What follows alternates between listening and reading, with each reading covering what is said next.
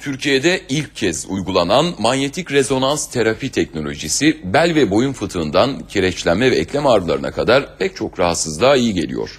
Ameliyatsız ve ilaçsız uygulanan tedaviden 7 seansta %90 oranında sonuç alınıyor. Uygulama felçli hastalar için de umut olacak. Tedaviye gidiyor musunuz? Gerçekten çok faydalı, ağrısız, böyle ameliyatsız bir tedavi yöntemi. Ameliyat yok, ilaç yok. İyileşmek için haftalarca beklemek de yok. Birinci günü böyle çocukların omuzunda geldim. Yani yere basacak gibi değildim. İkinci günü bastonla yürüyerek geldim.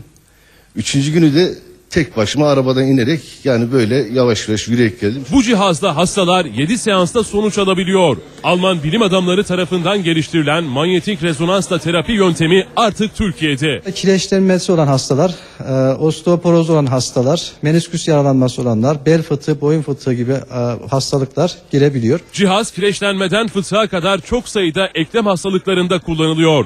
Doğuştan bedensel engelli Emrullah Yılmaz, tedavi uygulanan hastalardan yalnızca biri. Mesela dizimi bükmeden yürüdüğüm için çok daha zor bir yürüme biçimim vardı. Şimdi dizlerimi bükerek daha rahat yürüyorum. 20 gün önce deselerdi ki dizin biraz daha bükülecek, ayakların topuğun yere basacak inanmazdım gerçekten. Mustafa Samet başlarda 25 yıldır tekerlekli sandalyeye bağımlı. Tek başına yemek konusunda bile büyük sıkıntı çeken başlar artık çok daha rahat.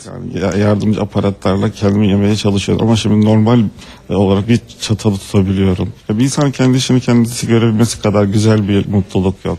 Cihaz kısmi felç tedavisinde başarıyla kullanılıyor.